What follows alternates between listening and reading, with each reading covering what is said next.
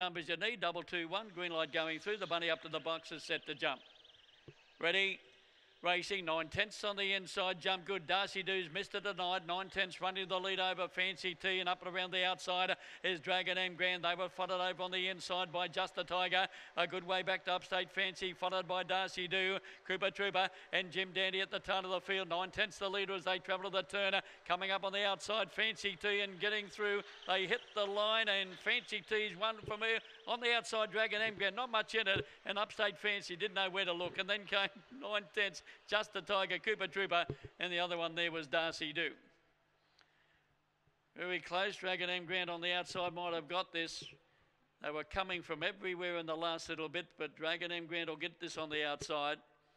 By Cosmic Rumble on parole and by Wei Shan and trained by Luke as a party. Number three, Fancy T for second. There they are, eight, three, and six.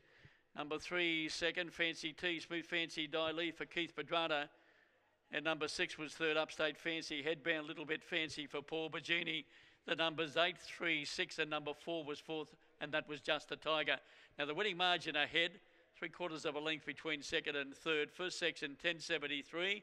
They run 23.25, and that run home time was 12.52. So the quaddy here tonight at Gosford, double two, one, and eight. So eight, three, six, and four. Ahead three quarters after race number eight.